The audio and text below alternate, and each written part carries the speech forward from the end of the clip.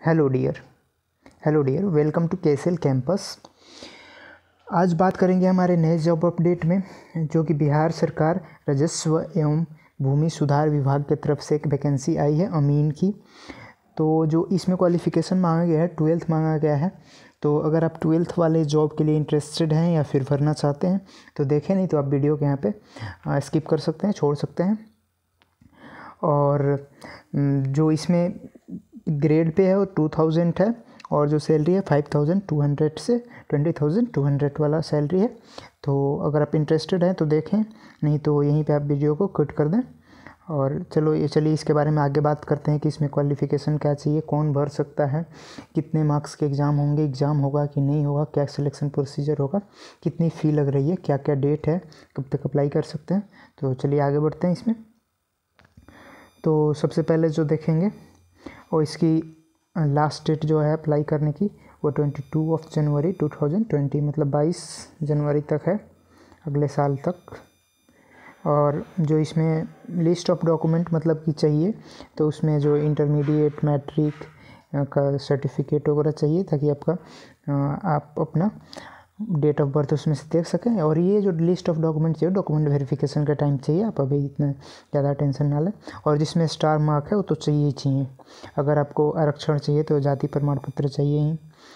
और आय प्रमाण पत्र चाहिए, अगर आपको ई डब्ल्यू एस वगैरह या फिर ओ बी सी डाल रखा है नॉन क्रीमी लेयर में। ठीक है? और आगे देखते हैं फिर। तो इसमें आगे आ जाए तो कितनी वैकेंसीज़ है? तो वैकेंसी सबसे पहले देख लेते हैं तो टोटल वैकेंसी जो है, वो सत्रह सौ सड़सठ मतलब कि one thousand seven hundred and sixty seven जिसमें कि जनरल की मेल के लिए four hundred thirty three and female के लिए two hundred and forty seven okay और फिर कैटेगरीज वाइज है, जैसे बीसी के लिए one forty three and sixty nine male female के लिए वैसे ही, फिर ईबीसी के लिए एससी के लिए एसटी के लिए आप देख सकते हैं, जैसा कि स्क्रीन पे। और फिर इसमें जो ग्रेड पे है, जैसा कि मैं बता चुका हूँ टू थाउज़ेंड है और सैलरी जो है फाइव थाउज़ेंड टू हंड्रेड से ट्वेंटी थाउज़ेंड टू हंड्रेड वाला है। तो अब अब एक अच्छी जॉब है आपके लिए, अगर अप्लाई करना है तो कर सकते हैं। ये इसमें जो क्वालिफ़िकेशन मांगा गया है, वो आपकी ट्वेल्थ होनी चाहिए। ठीक है? किसी मान्यता प्राप्त बोर्ड से आपकी ट्वेल्थ की डिग्री होनी चाहिए। या फिर उससे रिलेटेड उसकी समचक, समकक्ष कोई डिग्री होनी चाहिए। और जो इसमें है कि इंडियन नेशनल वाले सिर्फ़ अप्लाई कर सकते हैं। मतलब कि नेपाल वगैरह वाले बहुत सारे जॉब में अलाउ होते हैं, लेकिन इसमें अलाउ नहीं है। तो आप देख लें इसको। और इसमें एज लिमिट जो मांगी गई है, वो अठारह साल से लेके सैंतीस साल तक, जो जनरल कैंडिडेट है और डिफरेंट कैटेगरीज के लिए छूट है। जैसे कि ओबीसी के लिए three years S C S T के लिए फाइव ईयर इस टाइप से तो आप जैसा कि स्क्रीन पे देख सकते हैं। आगे बढ़ते हैं। आगे देखते हैं तो जो बिहार के कैंडिडेट्स हैं, उनको ही सिर्फ़ आरक्षण मिलेगा। दूसरे स्टेट वालों को आरक्षण नहीं मिलेगा। ये हर स्टेट में ऐसा ही होता है, आपको पता है। और बात करेंगे जो इसमें एग्ज़ाम होगा, वो सी बी टी होगा। मतलब कि कंप्यूटर बेस्ड टेस्ट होगा। और जिसमें कि आपको दो भाग में एग्ज़ाम होगा।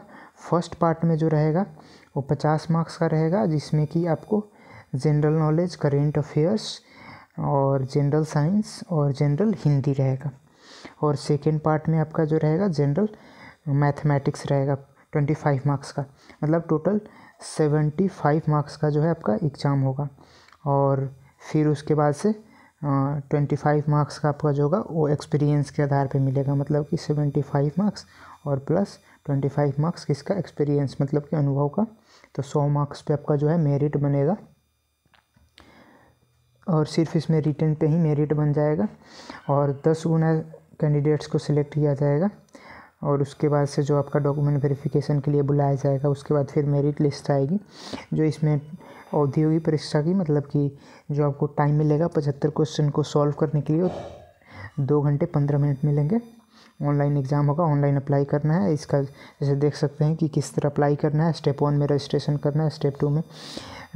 बेसिक अपना का जो है कि मतलब कि क्या आप करते हैं अभी स्टूडेंट हैं कि एक, एक सर्विस मैन है डेट ऑफ़ बर्थ क्या है सब सारे भरने हैं। उसके बाद स्टेप थ्री में एजुकेशनल क्वालिफिकेशन भरना है। स्टेप फोर में वर्क एक्सपीरियंस डालना है। स्टेप फाइव में फ़ोटो अपलोड करना है। स्टेप सिक्स में प्रीव्यू योर एप्लीकेशन देख के, उसके बाद फाइनली सबमिट करना और पेमेंट कर देना है।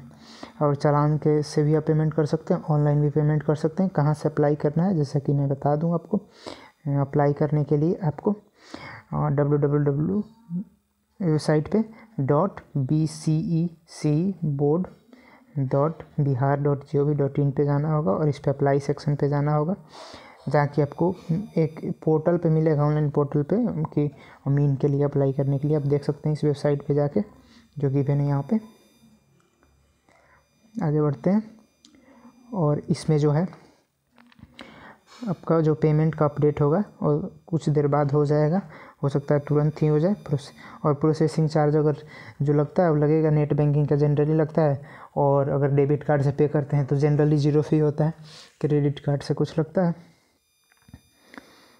उसके बाद प्रिंट करके भी रखना है अगला स्टेप में। ये सब बता रखा है, आपको रखना है तो रख लेना।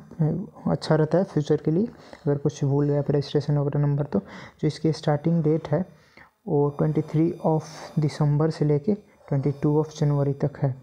मतलब कि आज से ये स्टार्ट हो रहा है ये फॉर्म तो अभी तो लिंक स्टार्ट नहीं हुआ है, लेकिन हो जाएगा आज कभी भी तक। और ट्वेंटी टू तक अप्लाई कर सकते हैं इसको। आगे इसको देखते हैं सी बी टी टू जो हो, जो इसका सी बी टी एग्ज़ाम होगा, वो पंद्रह दो को होगा मतलब कि पंद्रह फेब को होगा और सोलह फेब को होगा, दो दिन। ज़्यादा कैंडिडेट्स हैं होंगे तो ये एक तरह से बोला जाए तो टेंटेटिव डेट है। और जो एडमिट कार्ड होगा उसी पे आपका एग्ज़ाम सेंटर का है, वहाँ पे मेंशन रहेगा। आप सेम वेबसाइट पे जाके अप्लाई एडमिट कार्ड डाउनलोड कर सकते हैं, ये बता रखा है। और जो आपका टोटल मार्क्स जैसा कि मैंने बताया seventy five plus twenty five वहीं बता रखा है। ये इंटरव्यू दे रखा है। इसका मतलब इंटरव्यू नहीं है मतलब कि एक तरीके से आप जाइएगा तो आपसे आपका एड्रेस वगैरह पूछ लेंगे, पूछ के देख लेंगे कि जो कैंडिडेट है, वो उसका दिमाग कैसा है, कहीं वैसा तो नहीं है कि मतलब कि डिस्टर्ब मेंटली डिस्टर्ब कैंडिडेट है और उसी, उसका सिलेक्शन हो गया है। तो इंटरव्यू नहीं होगा, वैसे पूछ लेंगे डॉक्यूमेंट वेरिफिकेशन मेनली होता है। इंटरव्यू वगैरह से आप डरना मत, देख के कि इंटरव्यू होगा काउंसलिंग टाइप का होगा आपसे, कि आपका सर्टिफिकेट देखेंगे, नाम वगैरह पूछ लेंगे एड्रेस वगैरह पूछ लेंगे, कैसे पढ़ाई किया, क्या करते थे, जो एग्ज़ामिनेशन फ़ी है इसका तो दो सौ रुपये रखा गया है मेल कैंडिडेट के लिए फीमेल के लिए सौ, और reserve S C S T के लिए सौ रुपये रखा गया है। और जो देखते हैं आगे आपकी काम की चीज़ें हैं तो बस और कुछ तो है नहीं, जो इसमें सिलेबस दिया हुआ है। जानते हैं, जैसा कि सेम ही सिलेबस देता है कि इंडियन रिपब्लिक में इंडियन कॉन्स्टिट्यूशन में मतलब पॉलिटी में। तो एक तरीके से देखा जाए तो बिहार के जो नॉर्मल एग्ज़ाम्स होते हैं एसआई के, बिहार पुलिस के, वहीं सिलेबस इसमें करंट अफेयर्स भी और आजकल ट्रेंड देखा जा रहा है करंट अफेयर से ज़्यादा क्वेश्चन आ रहे हैं। जैसा कि अभी एस में भी आपने देखा होगा कि करंट अफेयर से बहुत सारा क्वेश्चन आया था। तो आप करंट अफेयर्स का तैयारी कर ले जनरल साइंस का भी तैयारी करके जाएँ और जनरल हिंदी आएगा। तो हिंदी एक एक्स्ट्रा है। जो कि बिहार एसआई में फ़र्स्ट स्टेज में नहीं होता सेकेंड स्टेज में आता। है तो आप देख लेंगे इसको एक बार।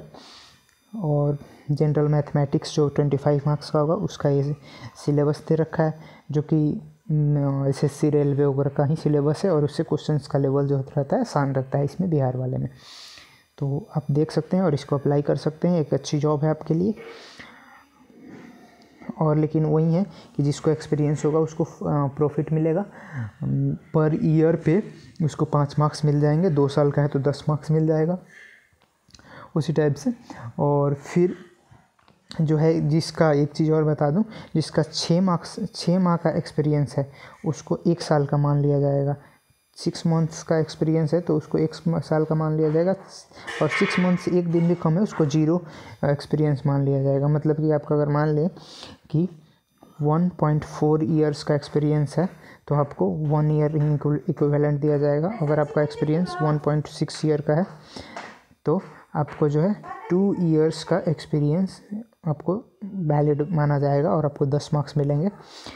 Okay thank you for watching keep like and subscribe to our channel for more updates thank you